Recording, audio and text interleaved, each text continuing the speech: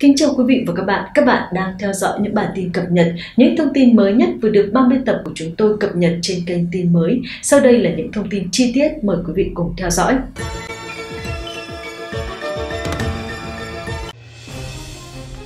Kính thưa quý vị khán giả, thời tiết cực đoan đã xảy ra ở nhiều nơi ở Trung Quốc. Đầu tuần vừa qua, Thượng Hải hứng chịu một trận xét hiếm có, gió mạnh, mưa đá xối xả, mây đen bao trùm thành phố. Ngày cũng như đêm, mưa xối xả chút xuống. Trưa ngày thứ Sáu, Đài quan sát khí tượng Trung ương Thượng Hải đưa ra cảnh báo xét vàng. Hầu hết các khu vực đều bị xét đánh kèm theo rông lốc và gió giật mạnh. Cảnh báo bão màu xanh và cảnh báo mưa đá màu vàng được đưa ra sau đó cùng ngày. Cảnh báo gió giật màu vàng cũng được đưa ra cùng ngày, dự báo sẽ có rông bão và gió mạnh từ cấp 8 đến cấp 10 tại khu vực trung tâm đô thị Pudong, Chongming, Minh, Sông Giang, Kingpu, Minh Trang, Yangding, Baosan và những nơi khác trong ngày hôm đó. Đoạn video do cư dân mạng quay được cho thấy trước cơn mưa, mây đen bao trùm khắp thành phố Thượng Hải, một số ô tô bị ngập trong nước. Thời tiết khắc nghiệt hiếm có ở Thượng Hải và những nơi khác đã làm dấy lên những cuộc thảo luận sôi nổi giữa các cư dân mạng. Một số cư dân mạng thở dài, Thượng Hải khó khăn thật, vừa sau đợt dịch lại mưa nữa. Cùng ngày, Nan Trang, thủ phủ của tỉnh Giang Tây cũng bị ảnh hưởng bởi mưa lớn và toàn bộ thành phố bị ngập lụt. Đoạn video cho thấy vào lúc 10 giờ sáng, một trận mưa lớn đã đổ xuống ở Nam Sương và một số khu vực đô thị bị ngập lụt. Ở một số đoạn đường, chiếc ô tô chìm trong nước chỉ còn trơ lại phần mái. Ngoài ra, khi ông Tập Cận Bình chuẩn bị thăm Hồng Kông, Đài Thiên văn Hồng Kông đã phát đi tín hiệu báo động số 2 vào tối ngày hôm đó. Từ ngày hôm sau đến hai ngày tiếp theo, Hồng Kông sẽ hứng chịu những cơn bão dữ dội với sức gió lớn nhất đạt cấp 6, cấp 7. Một số cư dân mạng chế nhạo rằng mặc dù không khí chặt chẽ do an ninh của Đảng Cộng sản thực hiện, nó không thể ngăn chặn cơn bão mạnh mẽ do Chúa an bài. Quý vị thân mến, cũng vật chiều tại Trịnh Châu, Hà Nam bị bao phủ bởi mây đen, sấm sét, gió mạnh và mưa xối xả. Ngày lập tức chuyển sang đêm và nước tích tụ từ nhiều nơi trong thành phố. Trước trận mưa bão, một bầu trời xanh hiếm thấy ở khu đô thị Trịnh Châu. Tờ Elephant News đưa tin, nhiều người dân đã chụp ảnh cơn mưa xối xả. Đoạn video cho thấy những đám mây đen tràn ngập thành phố và trời đổ mưa lớn ngay lập tức. Nhân chứng, bà Yang cho biết ban ngày trời đang nắng, sau khi tan sở thì trời đổ mưa đột ngột, như thể bầu trời bị thủng. Người qua đường không thể tránh khỏi.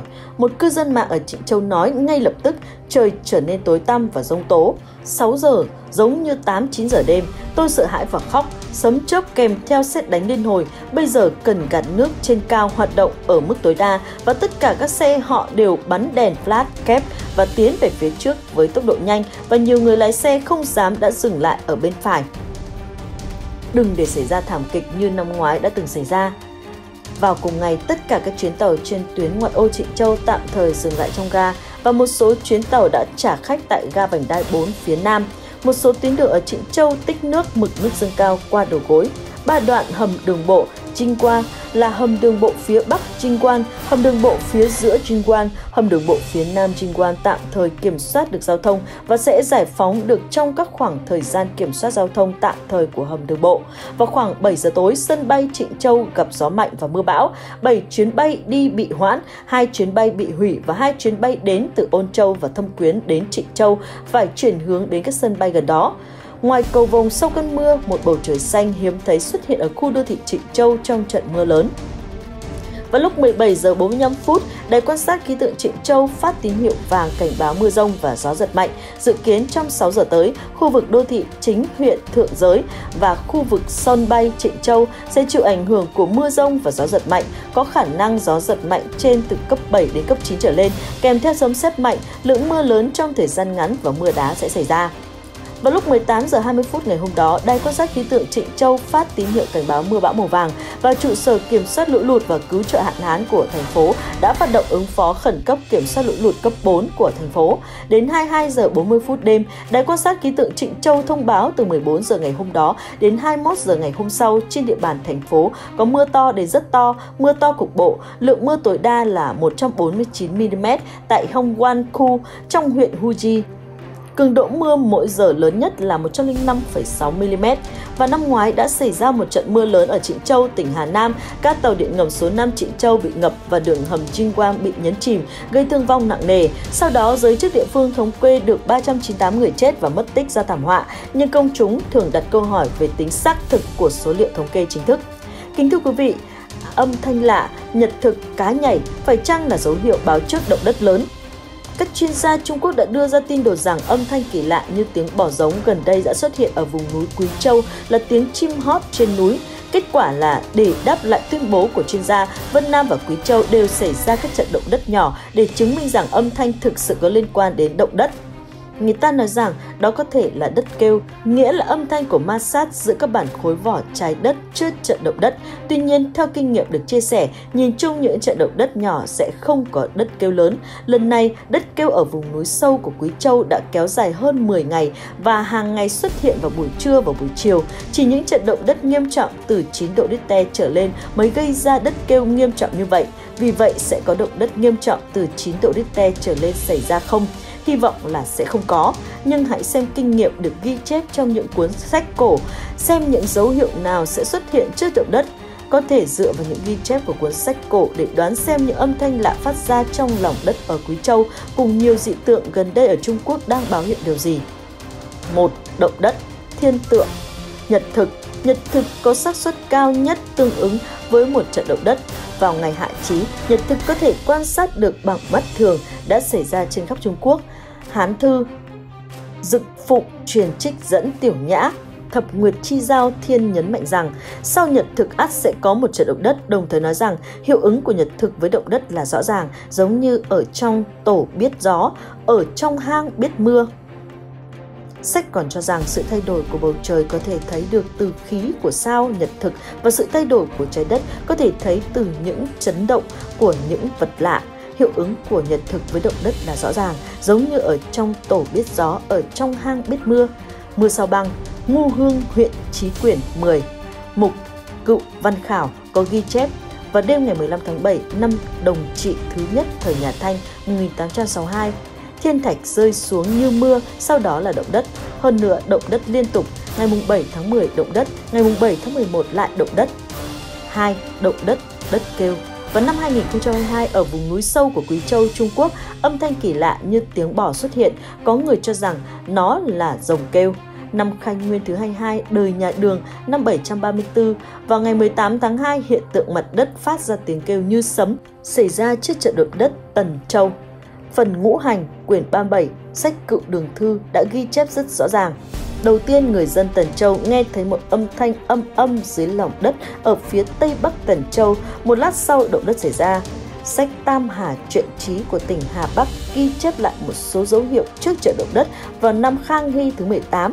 Vào giờ tỵ ngày 28 tháng 7, một số dấu hiệu báo trước trận động đất ở Kinh Thành là có âm thanh lạ từ phía Tây Bắc, âm âm như tiếng sấm, âm thanh đó dần đến gần đột nhiên dưới lòng đất giống như đại pháo nổ, tiếp theo là hàng trăm hàng ngàn tiếng pháo đá, giống như đội binh mã 10 vạn quân đạp đất phi đến.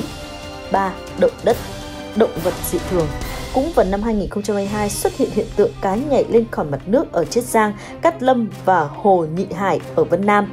Phần ngũ hành chí hạ quyển 29, sách Tấn Thư có ghi chép, ngày Đinh Mão tháng Giêng năm Vĩnh Hòa thứ 10 đời Tấn Mục Đế, động đất xảy ra, tiếng kêu như sấm, gà lôi đều kêu vang.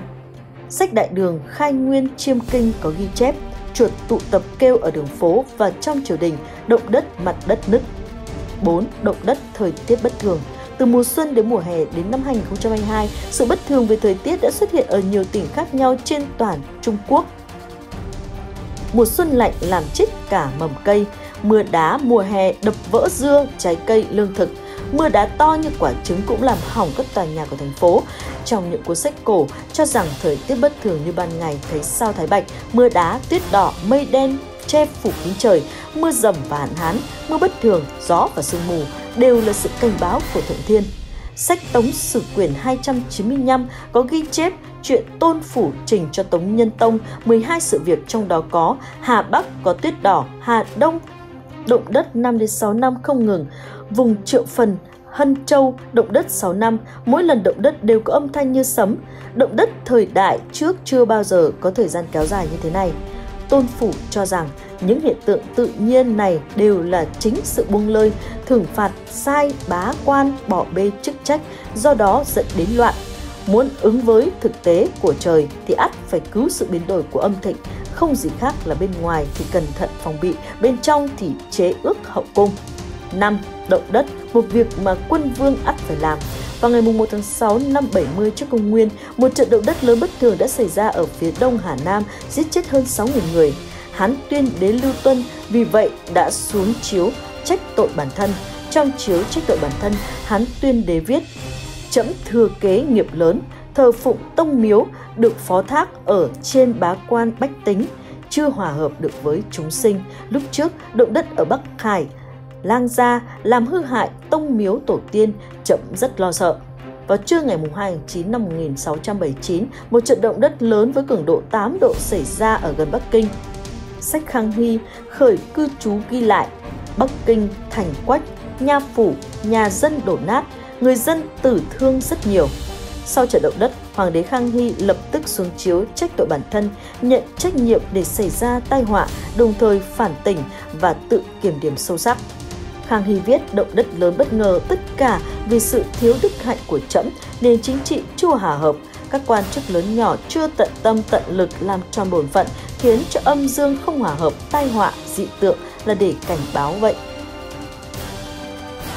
Đồng Trọng Thư, đời Hán, đề xướng Thiết Thiên, nhân cảm hứng cho rằng quốc gia sẽ bị suy bại do vô đạo thì trước tiên trời sẽ giáng tai họa để cảnh cáo. Người cổ đại coi động đất là cảnh báo và sự trừng phạt đối với người cầm quyền. Do đó, trong mọi trường hợp, hoàng đế phải phản tỉnh sâu sắc và xuống chiếu trách tội bản thân. Một mặt hoàng đế phải thành thật sám hối với các vị thần, nói rõ những điều bản thân không tròn trách nhiệm với ngôi vị hoàng đế. Mặt khác, phải vỗ yên tâm trạng bách tính vùng bị thiên tai. Ngày nay Đảng Cộng sản Trung Quốc gây ra không biết bao nhiêu tai họa cho nhân loại, dối trá phát tán virus, khiến thế giới lao đao vì đại dịch chưa dừng. Nhưng Tập Cận Bình và chính quyền Trung Quốc chưa từng nhìn nhận những hành vi sai trái tẩy trời của mình mà tiếp tục bưng bít và đổ lỗi cho cả thế giới. Thật là thái độ khiến trời không dung đất không tha. Đảng Cộng sản Trung Quốc gây ra không biết bao nhiêu tai họa cho nhân loại, nhưng Tập Cận Bình và chính quyền Trung Quốc chưa từng thừa nhận những hành vi sai trái tẩy trời của mình. Trung Quốc liên tiếp chìm trong các dị tượng, đại họa liên tục xảy ra, người dân cũng khốn đốn trong thảm họa. Nền văn minh cổ đại 5.000 năm với biết bao nhiêu sách cổ quý giá về chiêm tinh, dự ngôn giải mã các hiện tượng kỳ bí của tự nhiên. Hoàng đế thời xưa biết chiếu vào đó mà phản tỉnh sửa sai mới có cơ hội giữ được quốc gia tránh khỏi thảm họa. Ông trời đã cho cơ hội, liệu chính quyền Trung Quốc chọn kết cục nào cho chính mình đây? Chúng ta hãy chờ xem.